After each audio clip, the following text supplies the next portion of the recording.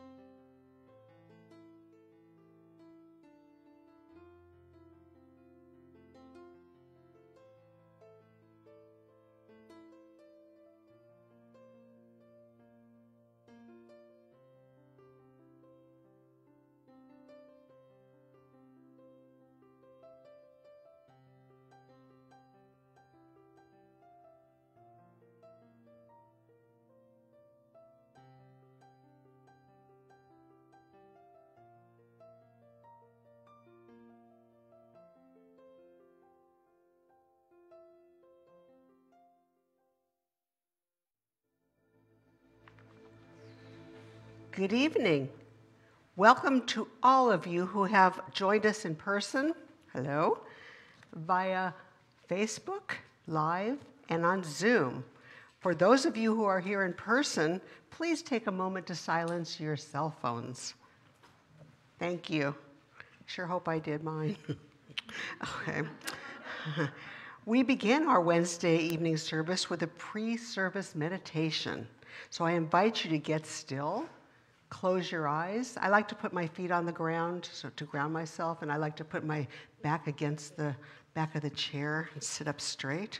As we play God's the Love That I Am chant, you can choose to chant along with it or simply follow along silently, repeating this mantra God is the love that I am.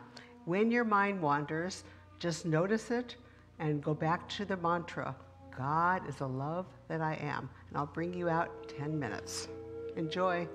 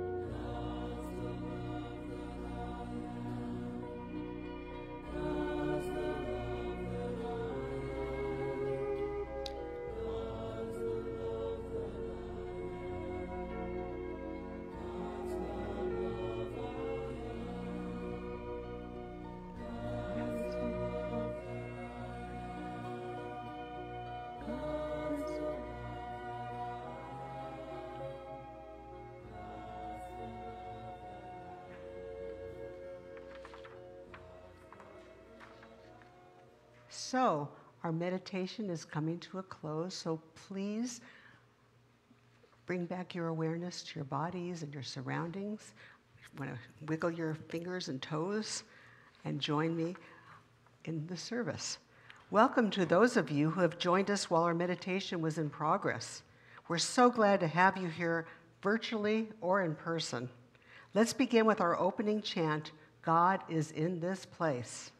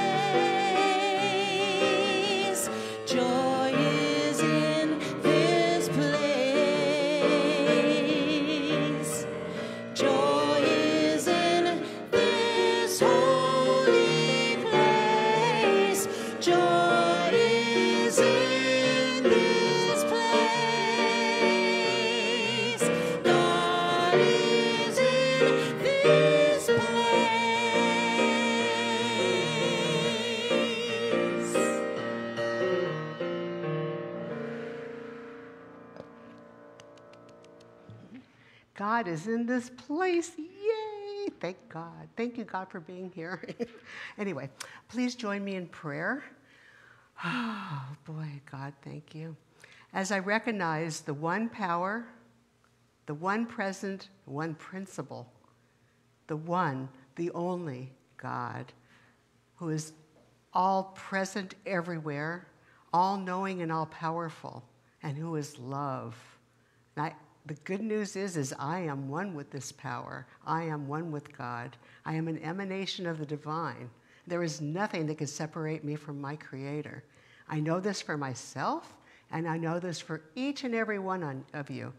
Whether you're on Zoom, on Facebook, in the sanctuary, or anywhere else, I absolutely know that we are all a part of the great mind of God. And I speak my word this wonderful evening, this chilly evening, knowing that God is directing this service and God is leading, and we are blessed by this knowledge. We are blessed that Reverend Sydney is channeling God's truth, God's word tonight. And she is doing it with love and laughter and kindness. And we learn exactly what we need to learn. We hear exactly what we need to to learn and hear, and it is all done with love. And I'm so grateful that we are so blessed with our team that puts on this service the, the music staff, the volunteers, the staff of our church. We are so blessed to have everybody here putting on this beautiful service. And with a grateful heart, knowing that God is here, I release my word into the law of mind knowing that God says yes to us all. And so it is, and together we say, Amen. Thank you, God. Now please join me in the Lord's Prayer. Our Father, who art in heaven, hallowed be thy name. Thy kingdom come, thy will be done on earth as it is in heaven. Give us this day our daily strength as we forgive those who forgive us, but deliver us. I, and the power and the glory forever. Amen. I only say this every day, but who knows what happened. Thank you. Thank you, Mary Catherine.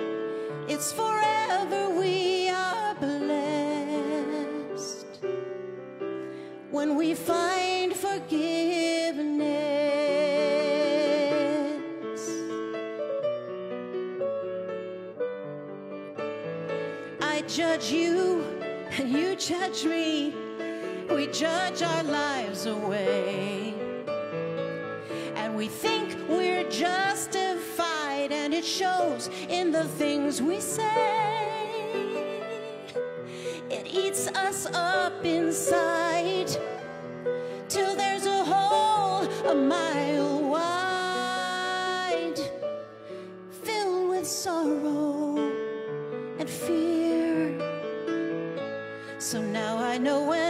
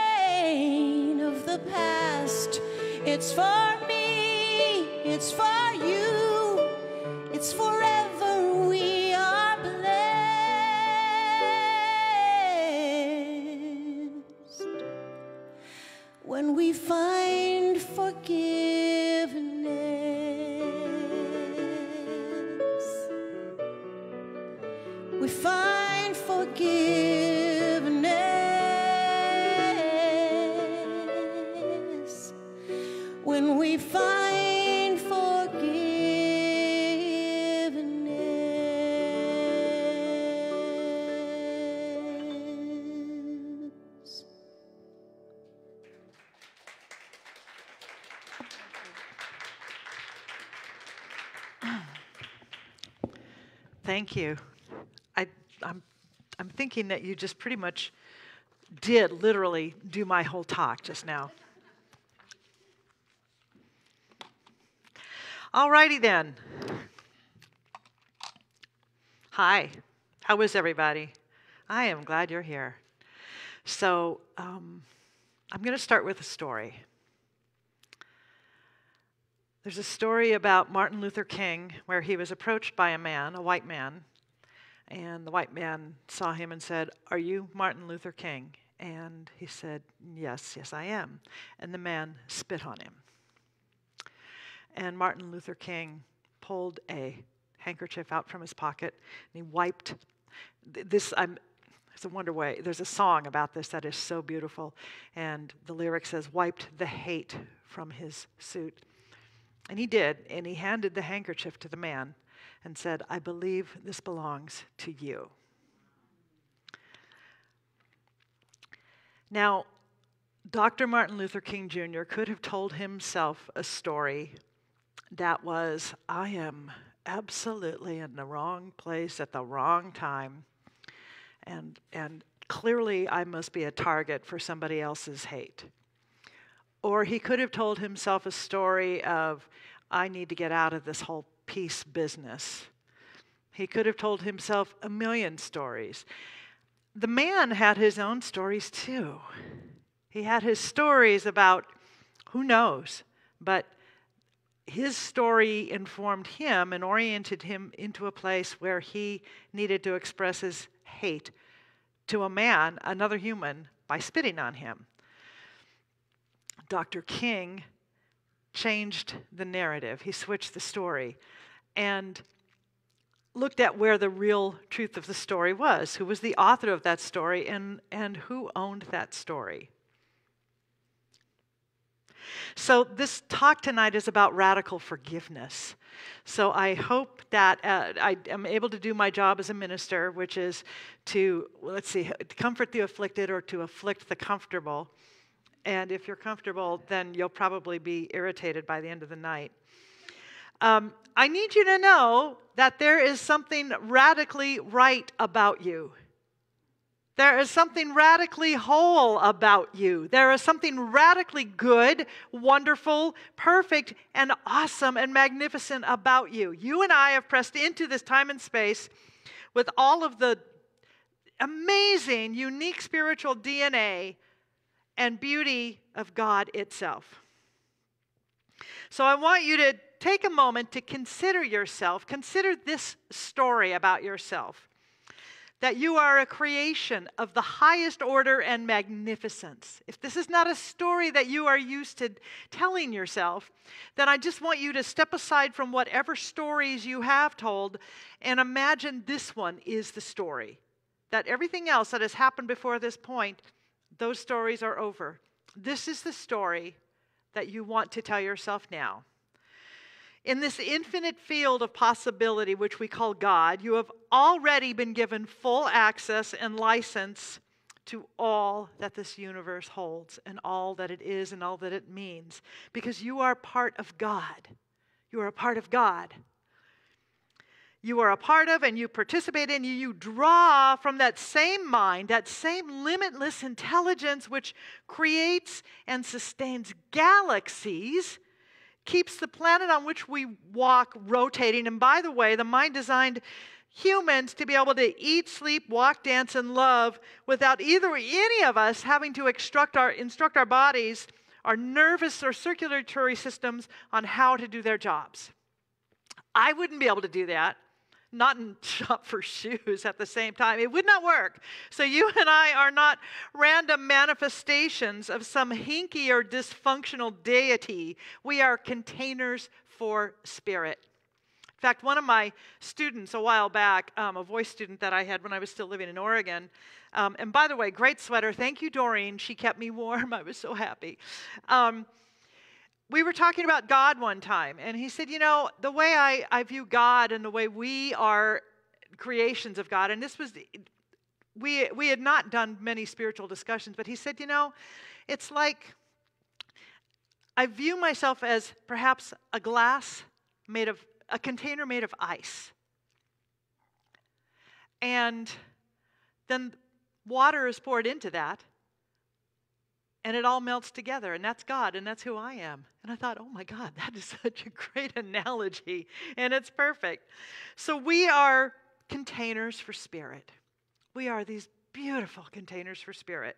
So here's another story. If we imagine ourselves as computers the hard drive that we came into this world with is already preloaded and pre-coded for genius preloaded and pre coded for genius. It is stable, fully beta tested, and automatically updates itself to the latest operating system because our server is God.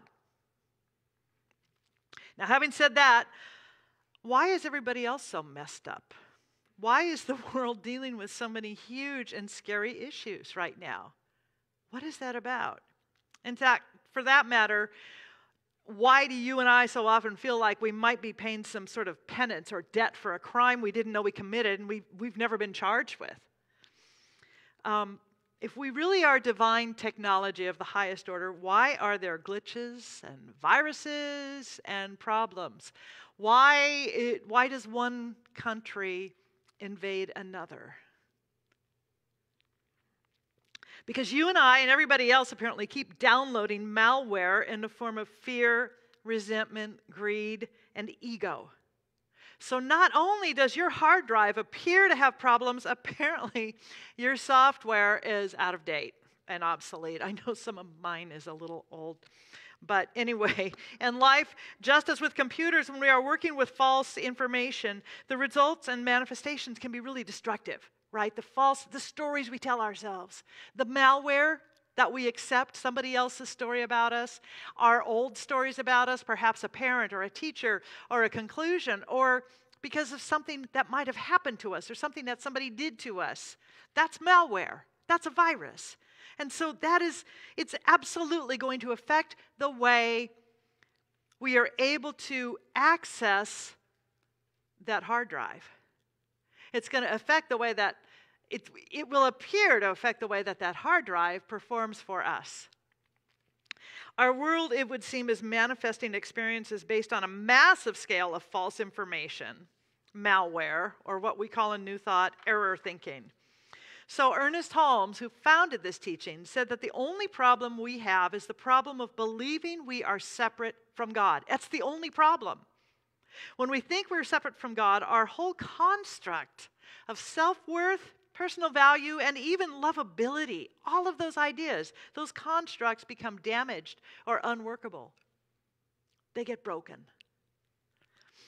He said it this way If we think of ourselves as being separated from the universe, we shall be limited by this thought, for it is a belief in separation from God which binds and limits. We are bound by nothing except belief.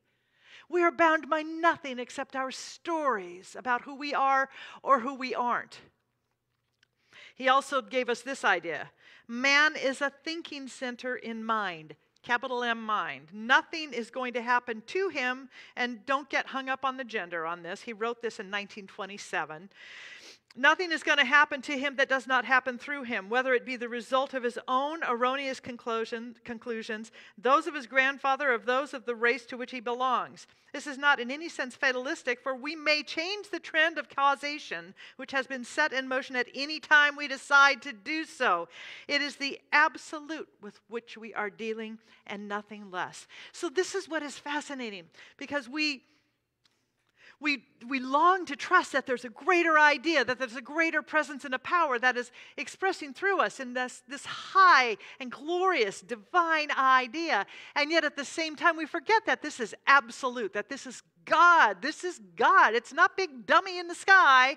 This is infinite intelligence that knows exactly how to harmonize and align everything in life. Everything, because that is the nature of love.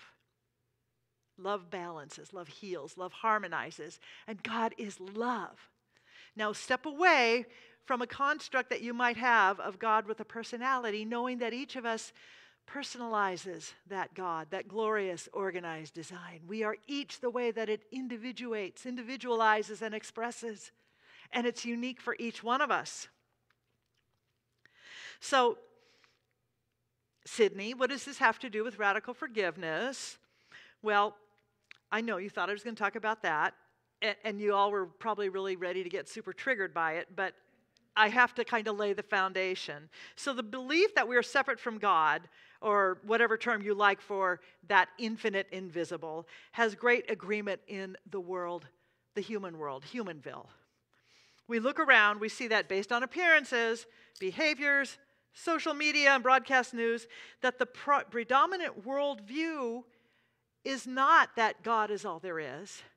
The predominant worldview is that there isn't enough, right?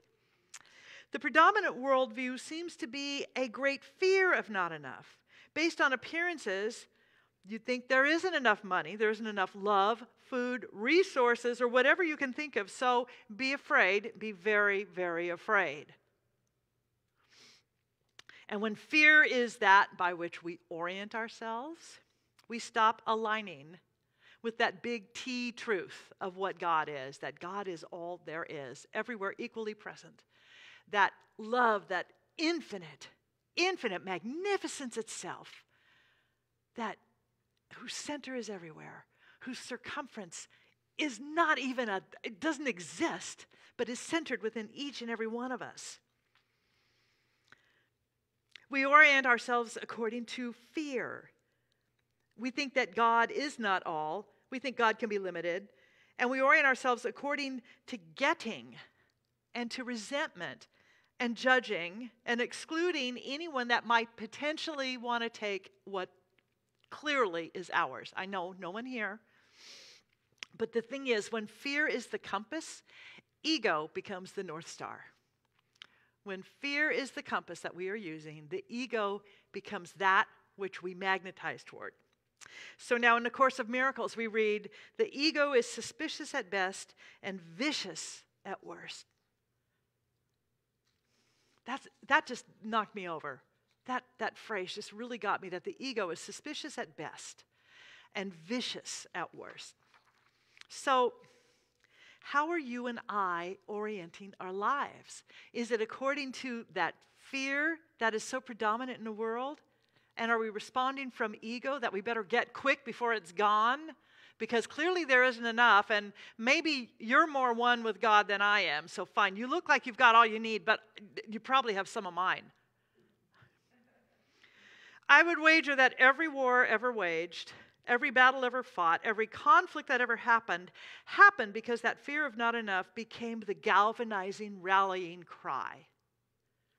Oh, and by the way, when we have not enough, then we're also usually pretty eager to assign an enemy, the other, and, and then we get to be afraid and then we want to look for a hero who can save us from the and we get into this vicious cycle this vicious it's called the drama triangle by the way.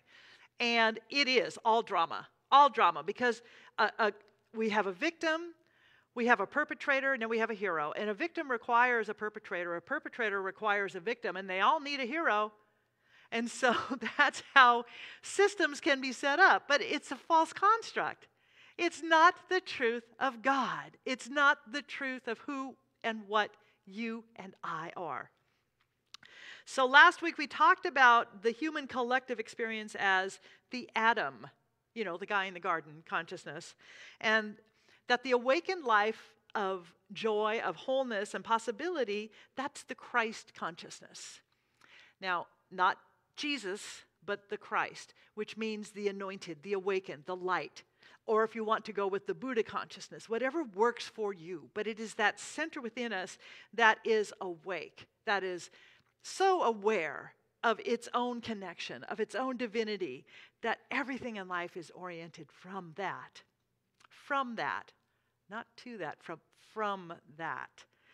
The Adam thinking is collective. It's the metaphysical equivalent of being asleep to your own divinity, right? And you might remember that what we talked about was that we sleep in the collective. We sleep as the collective population, that human race mind, the human fear, the collective, and, and, and that ego, but we must awaken individually. We have to awaken individually. We have to do our work. We do the inner work of revealing and healing those beliefs, of exploring and interrogating those stories the stories that told us there isn't enough, that we aren't enough. In other words, when we do that, we get to move out into the world finally as light. We get to move out into the world as light.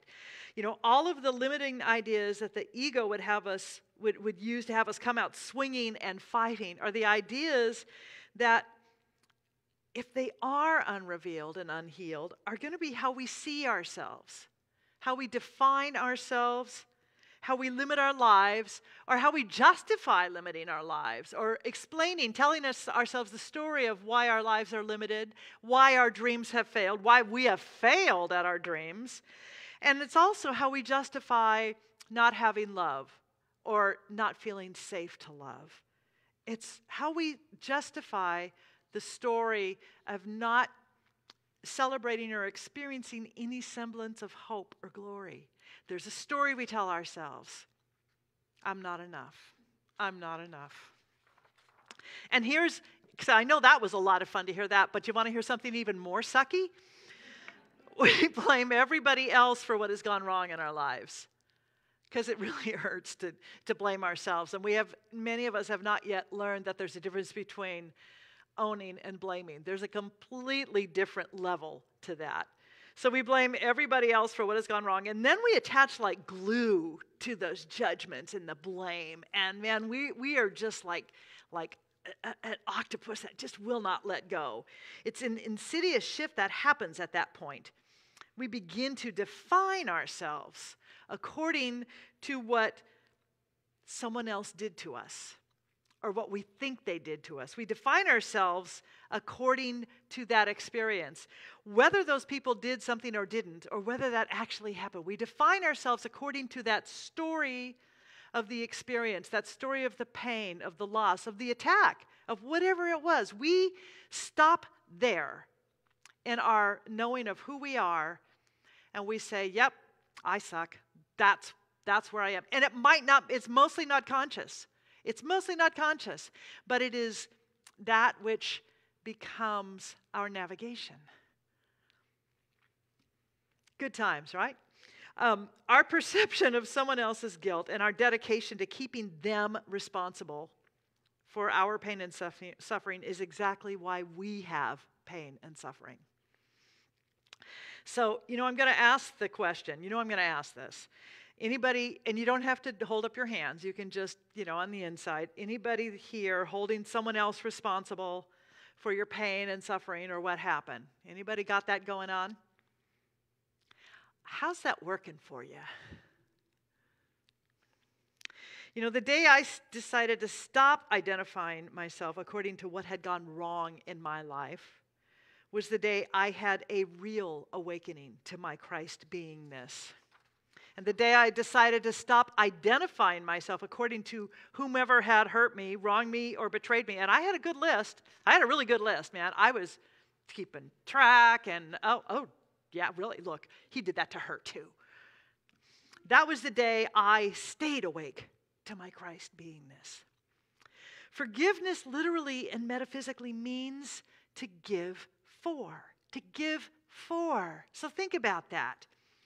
To forgive does not simply mean to arrive at a place of indifference to those who do personal injury to us. It means far more than this. To forgive is to, yes, to give for, to give some actual, definite good in return for the quote unquote evil given. Now, that could be a big leap, but here's what I want to ask you. If there's an area in your life where you have something that has been blocked, that no matter what you've done, you can't seem to get past a block that has kept you from maybe love, abundance, um, career satisfaction, career success, health. I want you to just take a moment and look back at what might have been going on at the time you began to have the issue with whatever it is, whether it's your money, with your health, just begin to look at what might have been going on. And is there someone who needs to be forgiven? See, when we don't forgive someone, when we don't give a new story, which is really all it is, when we don't give a release, which is love, for what happened, then we are still identifying with it, and it absolutely will affect other areas of our life. It will absolutely affect other areas of our life.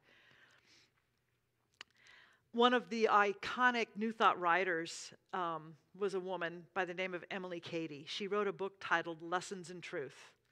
And in it, she wrote this The very pain you suffer the very failure to demonstrate over some matter that touches your own life deeply may rest upon just this spirit of unforgiveness that you harbor toward the world in general.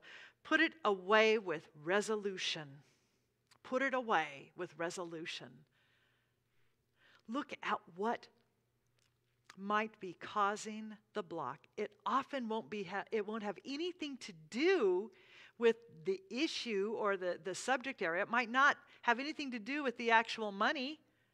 But if there is someone in your life that you are holding, holding and defining yourself according to, yeah, look at that. And consider that a new story might serve you so much more.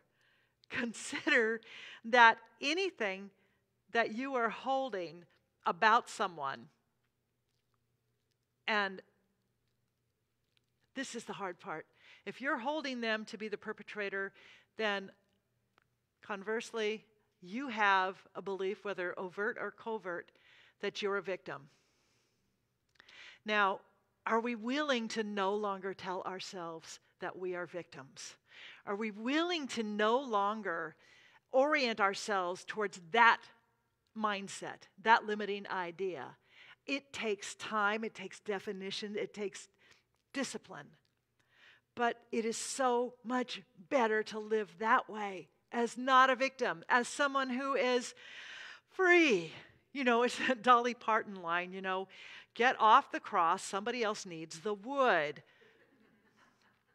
We don't have time for this. You know, the, the reason we have all of these Bible stories, by the way, is not because we we look at them historically or literally, but that we want to gain some understanding about parts of our own lives.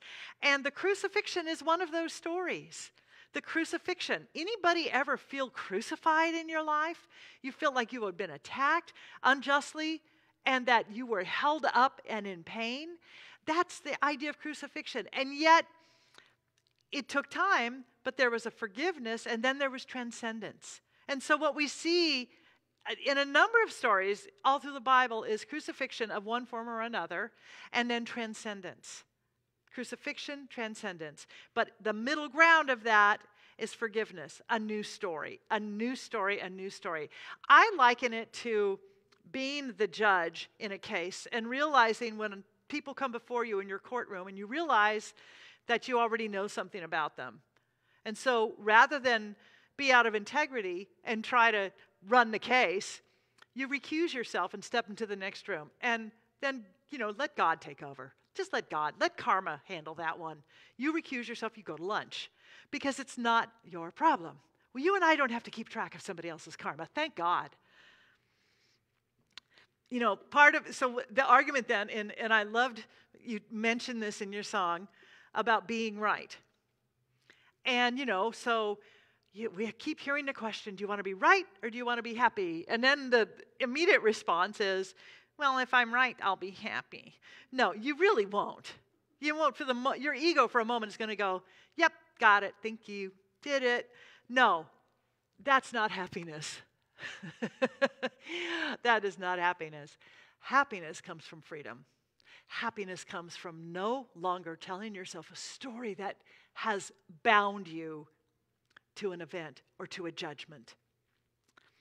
Every drop of giving some actual definite good, as Emilie Cady said, in return for the perceived wrong or that thing that someone did to you is like another light that we lift, that we can shine in the world. And boy, do we need that right now. You know, so ask yourself if you're willing to give up your list of who did what to you in order to leave this world, this precious, tender, and hurting world, a legacy of light and peace of mind. Because from this idea of oneness, the more you and I have light, the more someone over there gets light. The more we release, then they are released. When we can release, we are all released. Forgiveness makes room for miracles to happen. Love needs room to grow. Joy and peace need room to emerge. Are we willing to create the space that can only come from releasing our stories about who we are not? Forgiveness makes room for a new narrative of power and peace. Radical forgiveness makes room for a brand new life. So, this week, I want to invite you to no longer define your life by what has gone wrong. No longer define your life by who has wronged you. That is not who you are. Instead, I want you to look to the higher truth of your being, that divine and perfect hard drive that you were preloaded and pre coded with to be radically right, to be radically wonderful. There is something radically good about you. Do a hard reset. Do a hard reset on that hard drive. Go back to your divine factory settings, the ones that define you, and by the way, divine you. They divine you. You are a holy, sacred, radiant, magnificent, unlimited child of God.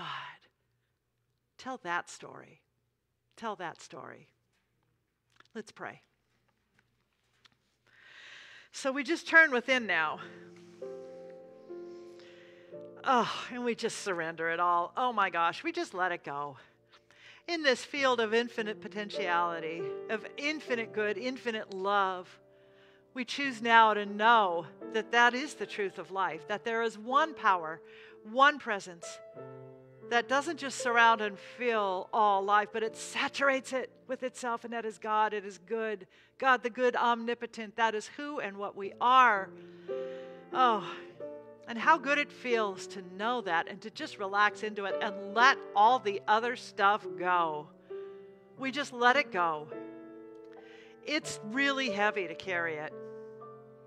It takes a lot of work, and you have to remember it. So now we choose to remember with the divine remembering that we are one with God, one with each other, and that we have been preloaded and pre coded with good, with love, with wholeness, with divinity. We are sacred love.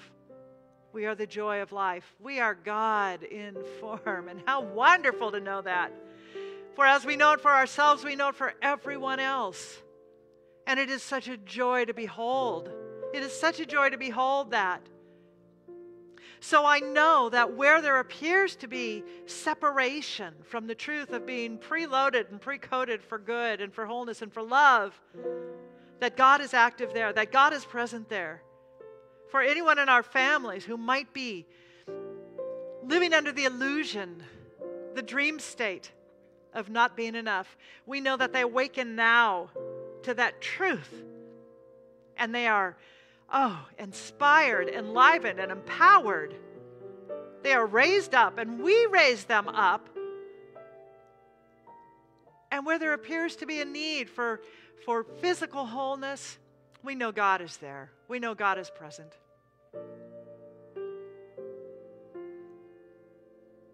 We bless this church. We bless all churches everywhere, all shrines all synagogues, all temples, all ashrams, all mosques, all paths to God. And we particularly right now, we open our hearts and we let this love that we are, that we have, be as a mantle around Ukraine and around Russia, that they might recognize and live by the new story, the true story, that there is only one that they are one in peace, and that love is that which unites, blesses, heals, and absolutely reconciles. We know that that high, high truth, that is God, is the only truth there is. We let go of everything else and allow that light to be the one that we see. That is the one which shines, and we hold that. We hold that. We know that and we dare to be that. So I invite you to say with me, I know this. I, I can remember what to say. I accept these truths for myself and all beings everywhere.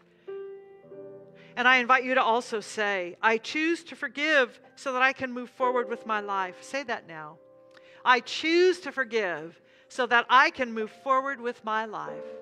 How good it is to know that we have this, that we are that we are strengthened in this and held up. We are raised up and it is good.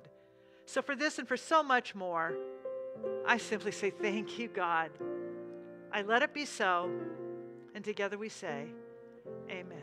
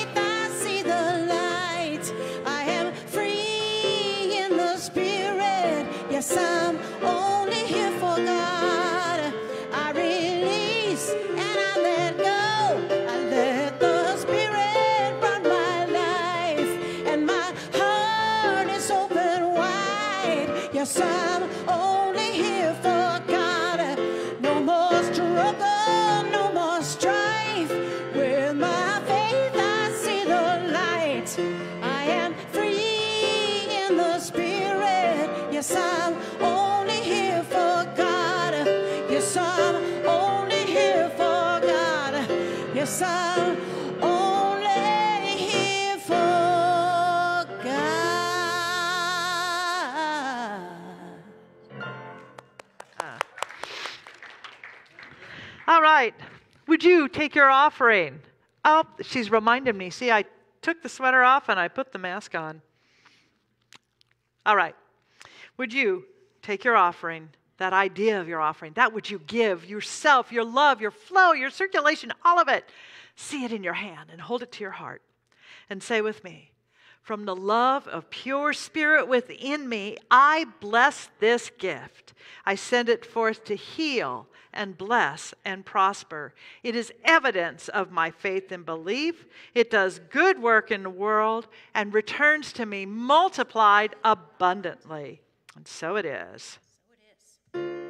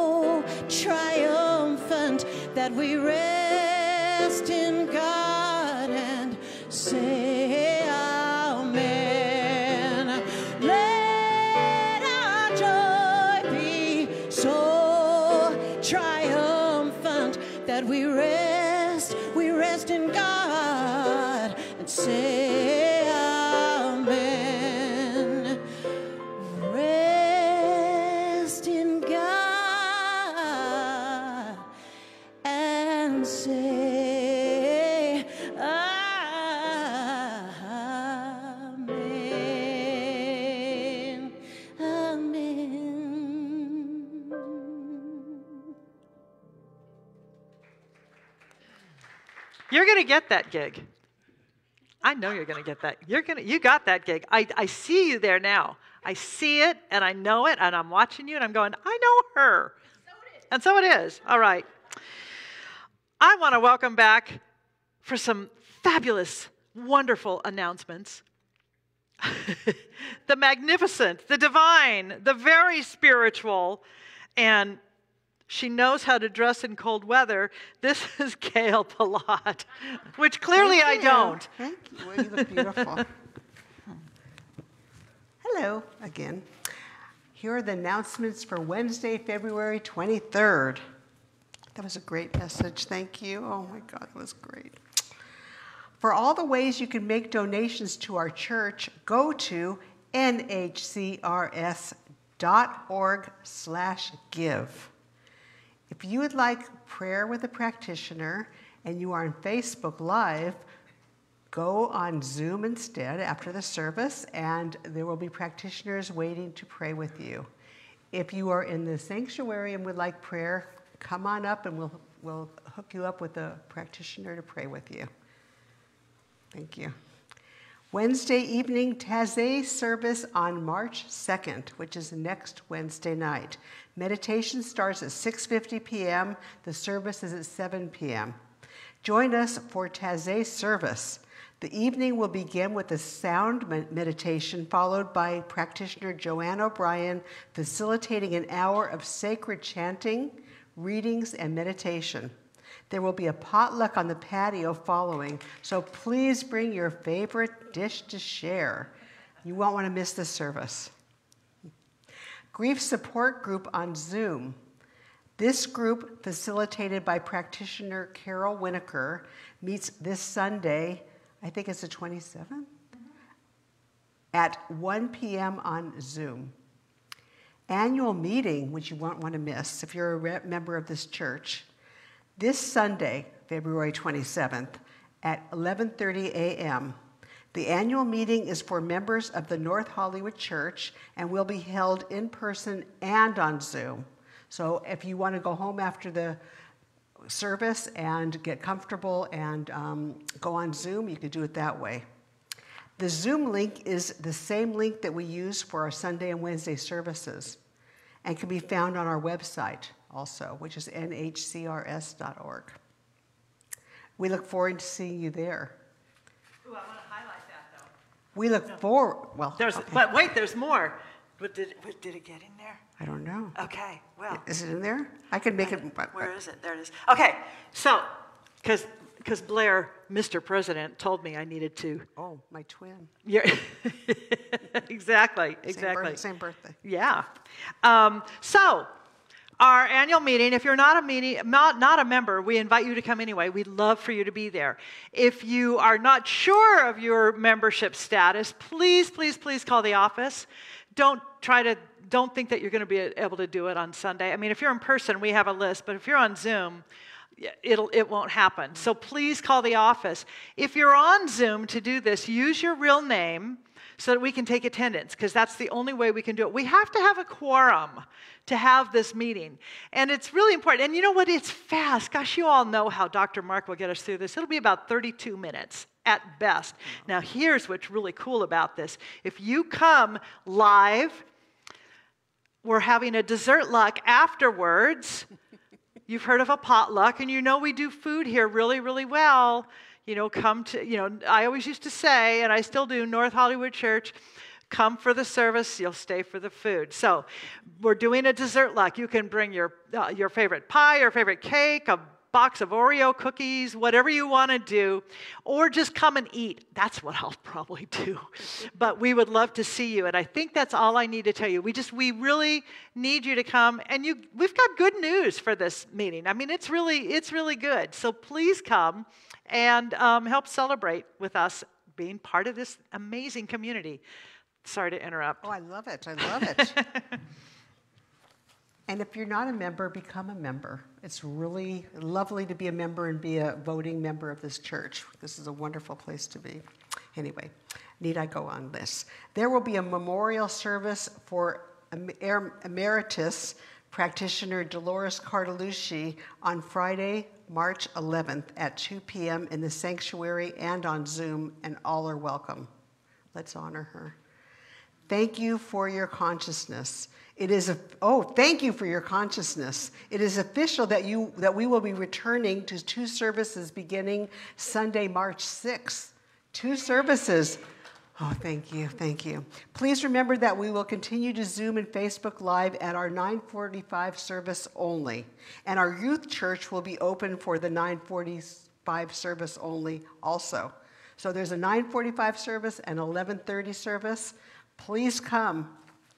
We are we're spread out and it's really it feels very safe, very safe. Okay, ready. Zoom virtual patio, which we have before and after Sunday and Wednesday services. If you're on Facebook, go to Zoom and ask to be put in the patio and you can schmooze with other people. It's great. Okay, now we have a Zoom meditation beginning March 1st, our morning meditation that meets every morning, Monday through Saturday, is evolving from 15 minutes to 20 minutes of meditation, thereby providing us with the opportunity to spend more time together communing in silence. The meditation will begin at 7:55 a.m. and will end at 8:15 a.m. We look forward to you joining us virtually for this special time of connection and communion. You don't want to miss this. Visit our nhcrs.org website to obtain Zoom links and more information about all our events and to sign up for weekly e blasts and monthly newsletters. Thank you. Well done. Thank you. All right. So let's pray out. It's cold out there. go home and I'll snuggle with my, my cat and my dog and my husband and I don't know, maybe some artichoke. I'm hungry. All right. what a wonderful world in which we live. And that we know, we know that we know that we know that we know that we are here as the divine beings. And we speak this word of benediction. We speak this word of blessing, knowing that we are never praying to God, but that we are praying from God as that divine, as that love. And we go forth into this world knowing that we have been filled up with the, the sense of, of a new story. And we welcome that new story about ourselves and everyone around us. And we tell the story now of love, of peace, of forgiveness, of joy, of possibility, of humor, of light, of music, of all of it. So I am certain that as we live our lives, we live them mindfully, lovingly, and we are a blessing to the world. With so much gratitude, I know it is so. And together we say, Amen. Thank you.